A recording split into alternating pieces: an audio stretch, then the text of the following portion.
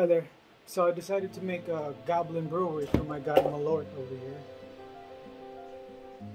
It's made out of a lot of recyclable material. This is a Hi-C juice bottle, uh, yogurt container, bendy straws, and a lot of the regular stuff that we use to uh, create terrain. So I hope you enjoy it.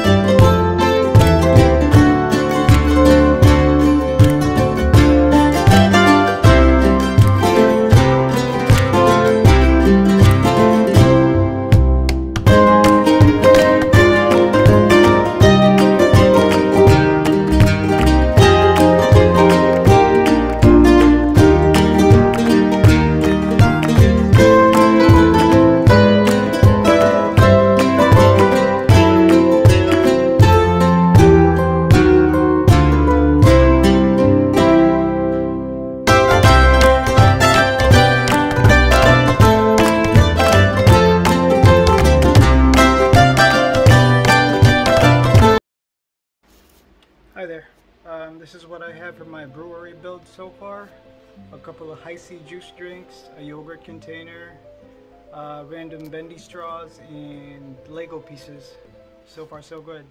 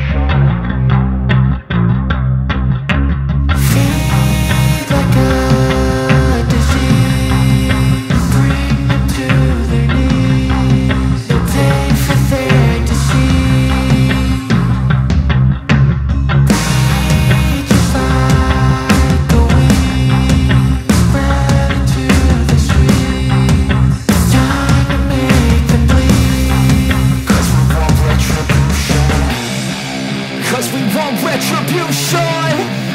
Oh yeah, we want retribution. Oh yeah, we want retribution. Oh yeah, we want retribution. Yeah, we ran out of patience. With the cold hard hatred. I can feel the